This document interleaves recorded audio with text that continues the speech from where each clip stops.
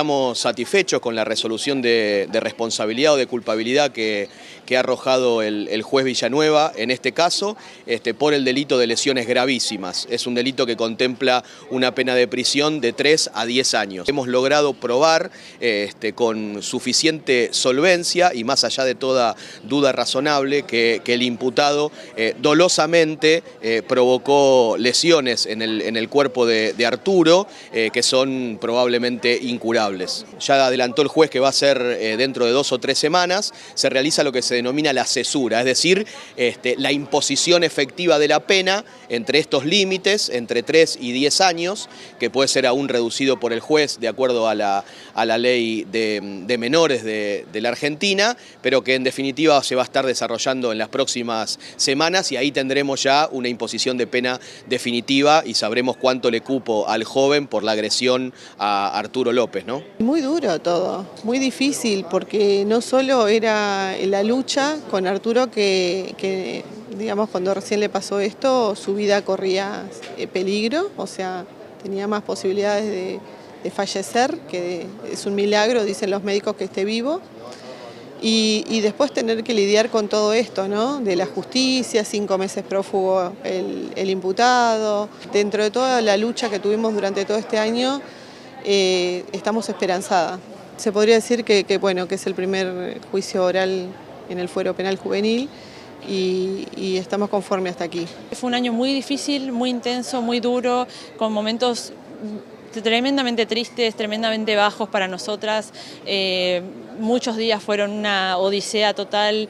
Nada nos va a volver el tiempo atrás y nada nos va a devolver la salud de papá que él tenía antes del golpe. Todavía está internado, o sea, esto recordémoslo porque él no pudo volver a su casa y no pudo volver a hacer la vida que tenía antes. Él no está enterado de que todo esto está siendo llevado a cabo, no tiene idea del juicio, no tiene idea de quién es el chico que lo agredió no sabe que fue agredido, él realmente no sabe, no entiende el motivo por el cual él está internado hoy en día. Estamos bastante conformes con lo que dictó el juez, todavía no sabemos cuál es la, condena, digamos, eh, y cuál va a ser su condición, pero bueno, nosotras lo que esperamos es que se siga en línea con lo que se vino diciendo hasta hoy y le den al joven una condena que sea de cumplimiento efectivo, es decir, que tenga que, cumplirla dentro de un instituto o de un pabellón de jóvenes eh, y no en su casa como viene siendo hasta ahora.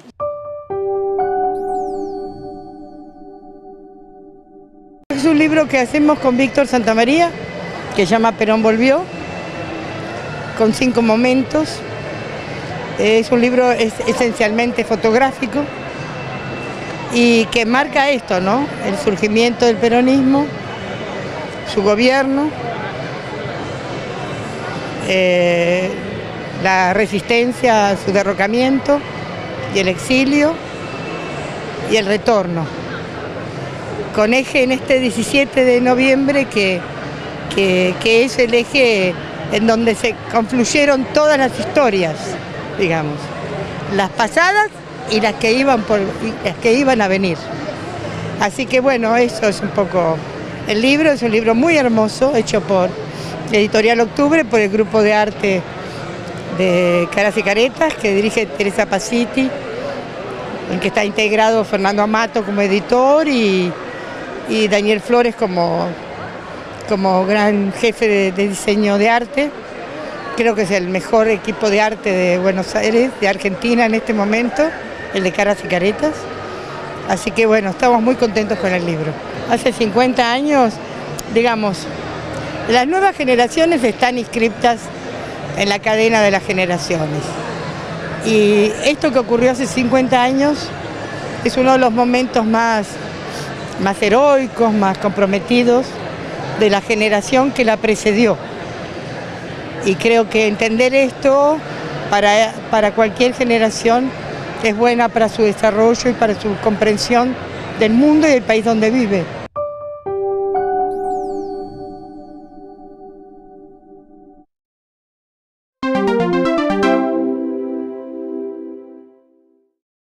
Argentina es uno de los países con el nivel de fertilidad, de productividad agropecuaria más alta del mundo. Uno de los países, digo, para no hacerme el canchero, porque la verdad, exceptuando algunas zonas de, Australia, pero no hay esta fertilidad de la tierra y estas cuestiones climáticas tan favorables. pero no alcanza a contenerlas. Nosotros creemos en las cooperativas, creemos en la agricultura familiar, porque uno puede producir y después ver cómo distribuye. Esta forma de producción te ahorra en el problema. No se trata solo de producir y después distribuir. Producir a través de estas formas asociativas, de estas formas familiares, de estas formas de producción en pequeña escala. Al mismo tiempo que producís, está distribuyendo. Nos ahorra un problema, nos ahorra una discusión. Mejora las condiciones de vida de nuestro pueblo con nuestro pueblo trabajando. El mayor triunfo que pueden tener. Que nosotros dejemos de luchar, que nosotros dejemos de disputar en el terreno de las ideas, que nosotros dejemos de defender lo nuestro, que pensemos que la provincia de Buenos Aires es inviable, que hay que dividirla, que hay que cortarla, que hay que romperla, que perdamos el orgullo y la identidad de nuestra provincia. Eso buscan. ¿Y saben qué? Por eso fracasaron una y mil veces. Vamos a seguir peleando por una provincia integrada, por una provincia con su identidad, por una provincia con un enorme orgullo de ser bonaerenses. Creo que todos los que estamos acá, o prácticamente todos, sabemos que una parte importante de las semillas y de los plantines que se utilizan tienen su origen en, que son importados.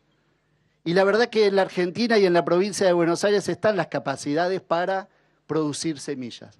Necesitamos, por supuesto, de la convicción, pero sobre todo de la presencia del Estado en desarrollar semillas con la idea muy clara de que desarrollar innovación tecnológica es empezar a generar soberanía tecnológica. Esta sala de elaboración tiene ese objetivo, tiene el objetivo de empezar a mitigar esos efectos, de permitir la industrialización.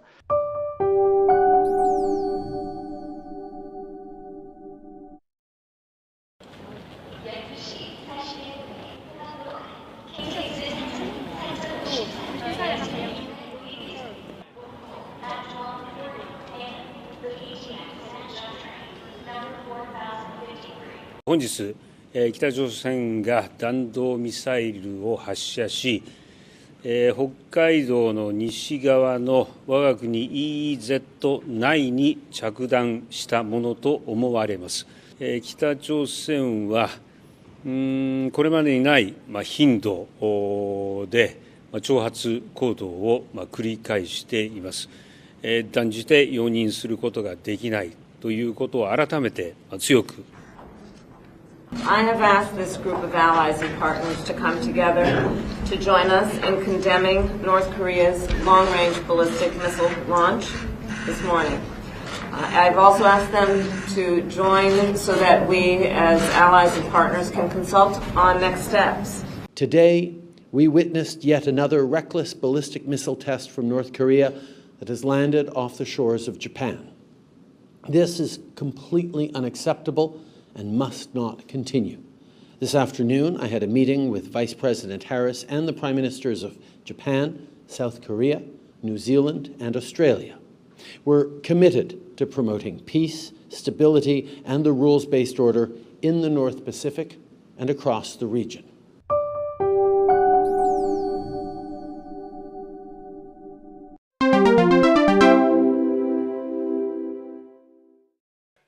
Es incompatible la percepción del programa Potenciar Trabajo con el hecho de tener, por ejemplo, un automóvil de más de 10 años de antigüedad. No es incompatible ser un titular del Potenciar Trabajo y tener una moto. No es incompatible tener un inmueble registrado a nombre de una persona que hoy cuenta con el Potenciar Trabajo. No vamos a permitir el intento de doble estigmatización. Por un lado, para las personas del potencial trabajo y por otro lado la búsqueda de estigmatizar un Estado y una Administración nacional lejos de la eficiencia, del control y de los procedimientos administrativos que estamos seguros vamos a garantizar y estamos garantizando en el Ministerio de Desarrollo Social de la Nación. El Banco Central de la República Argentina ha informado hace 24 horas por el sistema de información a través del Ministerio que 400 430 titulares del potenciar trabajo han accedido a la compra de moneda en billetes extranjeros, a la compra de divisas en operaciones habitualmente de lo que se denomina dólar ahorro. 430 titulares en los últimos seis meses. Pero quiero ser precisa, esa norma que justamente han incumplido, que es que ninguna persona en la República Argentina, mientras perciba un programa social de este ministerio y de otras carteras ministeriales, puede acceder a la compra de dólar de ahorro. Esa disposición rige en la Argentina en el Banco Central desde septiembre del 2020, comunicación 7105.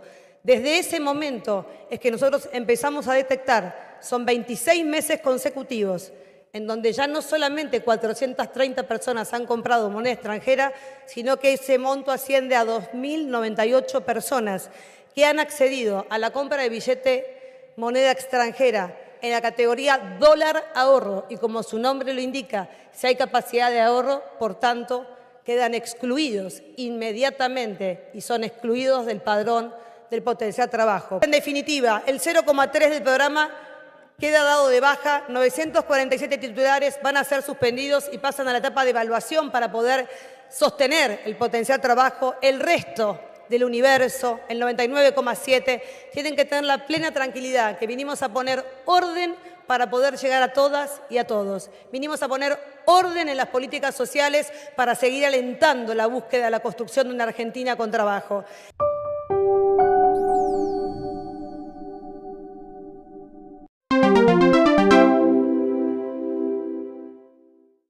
Quizás no haya placer más comunitario y compartido que el de la comida.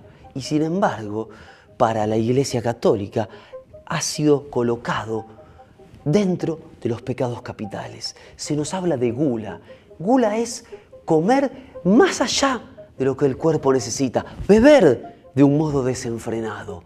Por eso se señala, cuando se habla de la gula, que la conciencia pierde el control, como diría Miguel Mateos, a propósito justamente de dominar ese impulso en el que no le prestamos atención a lo que estamos comiendo, sino que estamos justamente arrastrados por ese deseo irrefrenable que tiene que ver con la comida. Y esto también se vincula con un paradigma a propósito de la salud. Quizás muchas veces consumimos una bebida, consumimos un plato de comida o lo que fuere que nos lleva precisamente a un estado de ebriedad y a un estado de euforia y después sobreviene el arrepentimiento, sobreviene la culpa, sobreviene el malestar, pero precisamente opera la Iglesia Católica señalando que como hemos perdido el control y nos hemos dejado llevar por nuestro irracional cuerpo separado de la mente, hemos cometido el pecado de la gula.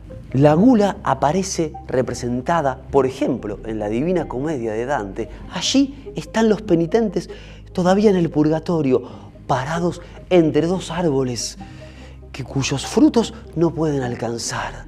Precisamente se les está haciendo ver que están presos de un deseo irrefrenable por pretender alcanzar algo que jamás lograrán. El Bosco le dedicó varias obras precisamente a la gula. En Alegoría de la gula y la lujuria encontramos a un conjunto de personas precisamente comiendo y bebiendo con una avidez desenfrenada. Estos son solo algunos de los ejemplos del arte y de la literatura en donde aparece la gula precisamente como una forma no solo de pecado, quizás como una forma de expresión de la esencia de lo humano.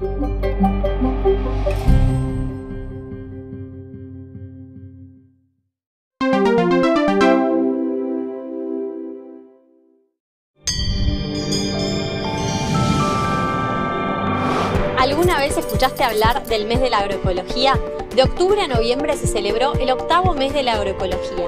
Durante estas semanas se convocó a distintos actores de la sociedad para que propongan talleres, charlas y visitas a establecimientos agroecológicos con el fin de visibilizar las virtudes de la agroecología. Esta es una iniciativa de la RENAMA, que es la Red Nacional de Municipios y Comunidades que fomentan la agroecología, en conjunto con la Sociedad Argentina de Agroecología y la Dirección Nacional de Agroecología, entre otras entidades. Solo la RENAMA reúne 200 productores y productoras agroecológicos, más de 100.000 hectáreas cultivadas de esa manera y más de 40 municipios que fomentan la agroecología. Según el último Censo Nacional Agropecuario, hay en Argentina 2.309 establecimientos que producen de manera agroecológica y 408 que lo hacen de manera biodinámica. Esto quiere decir que uno de cada 50 establecimientos producen en Argentina de manera agroecológica, cuidando los suelos y produciendo alimentos sanos. Ahora bien, ¿por qué es importante repensar la forma en la que producimos nuestros alimentos? En primer lugar, porque los agrotóxicos presentes en los alimentos pueden dañar nuestra salud, la de nuestras comunidades y la del planeta. Además, porque la agroecología permite que los campos vuelvan a habitarse y genera el arraigo de las familias productoras. Un suelo sano da lugar a plantas sanas, animales sanos, humanos sanos y un clima sano. La agroecología nos ayuda a mitigar los efectos del cambio climático, absorbiendo los gases de efecto invernadero presentes en la atmósfera y además nos ayuda en la adaptación al cambio climático, porque un suelo sano es mucho más resistente a las inundaciones y a las sequías. Y por último, y esto es muy importante, porque cultivar de manera agroecológica es rentable, ya que dejamos de gastar dinero en fertilizantes y químicos. Se reducen los costos y aumentan las ganancias. Si querés conocer más sobre la agroecología, hasta finales de este mes va a estar disponible el documental El camino es la agroecología. Podés verlo para entender un poquito mejor de qué se trata. Informate y acordate que nunca es tarde para cambiar de hábitos.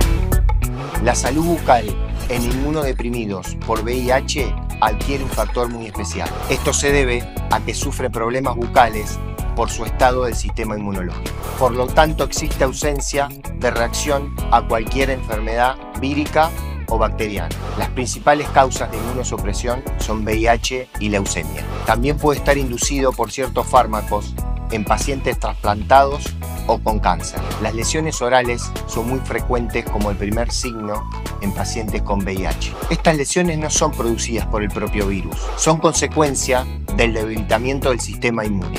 Los profesionales de la salud bucal desempeñan un papel fundamental en la detección del VIH. El odontólogo es el primero en observar anomalías en la cavidad oral.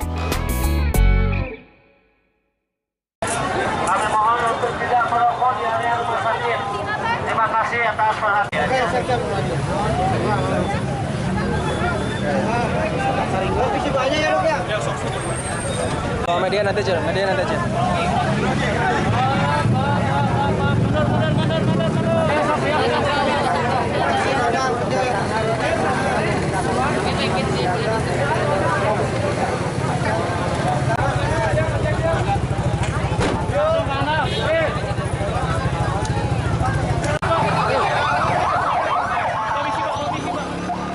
Sejauh ini sudah ada kurang lebih 100 korban yang uh, datang ke rumah sakit, yang meninggal sudah ada 8 orang. Untuk tenaga medis sekarang ini semua uh, tenaga medis di rumah sakit Cimacan yang di luar dinas itu sudah datang.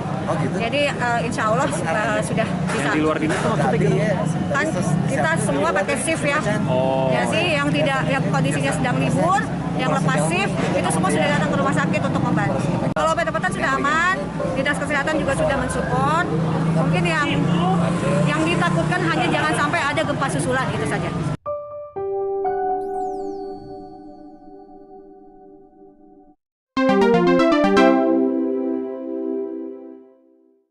Todas fueron batallas. La única batalla que no hemos podido ganar hasta ahora es encontrarnos con nuestros hijos. Pero sí pudimos socializar la maternidad y hacer que ahora miles y miles de hijos asuman la responsabilidad de levantar las mismas banderas que los nuestros. Para ayudarnos a seguir ganando grandes y pequeñas batallas. Esta casa, como ya les dije, es de todos.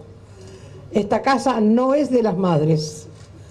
Esta casa la hicimos, la defendemos y la cuidamos con el mismo criterio que nuestros hijos dieron la vida, por los otros y para los otros. Ayer fue un día muy triste porque se nos fue una de las que empezaron la lucha de los organismos de derechos humanos, una de las que empezó a abrir las puertas que siempre se cerraban, empezó a marcarnos el camino y sobre todo Eve de Bonafini para nosotros fue un faro, fue una luz de mostrarnos que lo imposible finalmente se puede conseguir, de que no hay que bajar los brazos, de que hay que resistir, de que hay que perseverar. Creo que eso nos mostró Eve, ¿no? Eh, ese ímpetu que tenía eh, de, frenar, de pararse frente a, los carros de la policía, de, frenar las represiones, de exigir lo que muchas veces eh, y decir muchas veces lo que algunos no, no decíamos. Y sobre todo es una persona que supo eh, entender la lucha de sus hijos y empezó a reivindicarlos como militantes políticos y a decir que ellos estaban desaparecidos por, porque lucharon contra el plan económico. Creo, creo que eso fue una de de los motivos tam, también por los cuales un sector eh, no la quiere, la odia. Eh, ella desenmascaró a, a los poderosos y creo que a nosotros nos marcó el camino de lucha y hoy nosotros seguimos luchando por ella también. Creo que ella nos diría que no, no lloremos, nos diría que, que, sigamos adelante y que sigamos denunciando y desenmascarando a los que tienen el poder con nombre y apellido y sobre todo luchando y peleando para que terminar con las injusticias. Hoy en nuestro país lamentablemente hay muchas personas que la pasan mal eh, y Eve lo venía denunciando eh, todos estos últimos años. Desde Mauricio Macri en adelante eh, la situación ha cambiado para muchos argentinos y, ella estaría seguramente en las calles contra el negacionismo, pero también eh, contra todos los que hacen que el pueblo sea infeliz. Ay, hay que recordarla como una madre que no tenía militancia política y que decidió salir a las calles a buscar lo que ella, una madre más quiere que su hijo, sus hijos y que logró resistir a la dictadura, resistir las, las puertas que no se abrían durante la democracia y lograr las victorias del juicio de los genocidas, pero principalmente la vamos a recordar como una persona que siempre, siempre, siempre eh, fue un faro y, y nos marcó hacia dónde había que seguir. Gracias a ella, hoy nosotros estamos caminando también en este hermoso camino que es la lucha por, por los derechos humanos.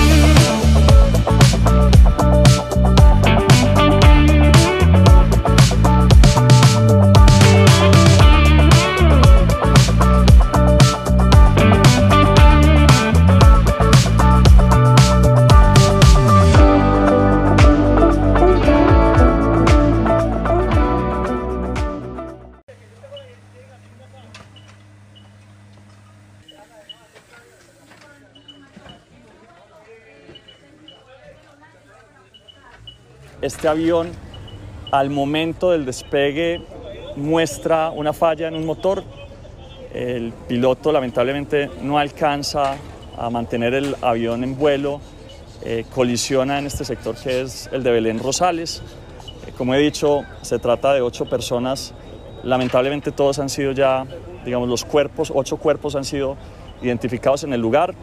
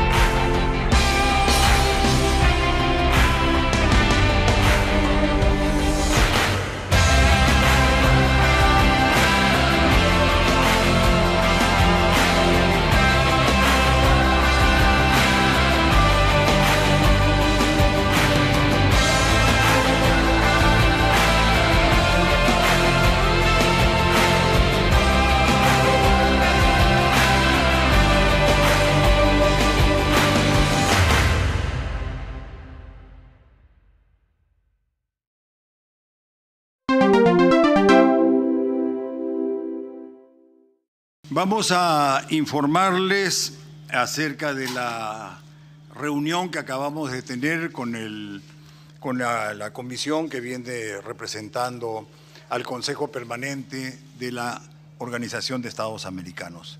Nos reunimos inicialmente eh, en la sala de, este, de diplomáticos ajá, y solicitamos de que esta reunión, estas esta actividad sea pública, que sea televisada. Nos pidieron que no sea. Les hicimos conocer que accedieron 10, este, 130 congresistas que pertenecen a 10 grupos parlamentarios, 10 bancadas. Y luego este, también les hicimos conocer, obviamente, las cosas que han sucedido. Hay las 10 bancadas, estas se transformaron en 14 bancadas. Esto debido a que algunas bancadas, como por ejemplo Perú Libre, se había dividido en otras cuatro bancadas y otra había sido desactivada, que es también este, la bancada este, morada. Esto como para que ellos conozcan cuál es el escenario, ¿no? el, lugar donde se desarrollan todos estos hechos. Luego nos referimos a las relaciones que existen en el poder, entre el poder ejecutivo y el poder legislativo. Y incidimos sobre lo que les cité en antes, que nos interesa, la separación de poderes, Estado de Derecho, debido proceso y la institucionalidad. Este, sí les dijimos que existen fricciones y que estas fricciones son fuertes. Son fuertes, pero no nos han llevado a una crisis, menos que se precipite, que no hay ninguna intención de parte del Congreso de hacer, una, de, de hacer, una, de hacer un golpe de Estado. De ninguna manera. Somos respetuosos de la, de la, de la, de la democracia. Otra cosa que nos ha hecho entrar en fricciones es el asunto de la el cambio de la, de la constitución y el referéndum.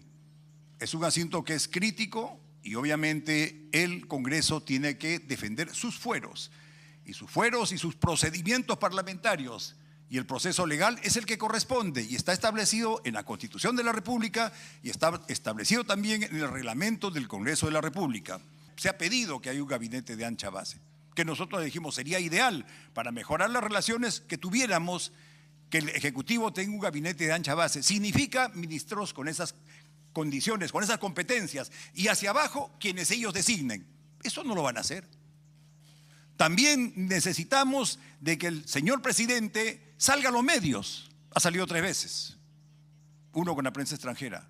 Si sale con los medios, obviamente ahí va a estar la transparencia y ayuda. Y la tercera, pues lógico, si hay denuncias, tiene que acudir y dar su testimonio.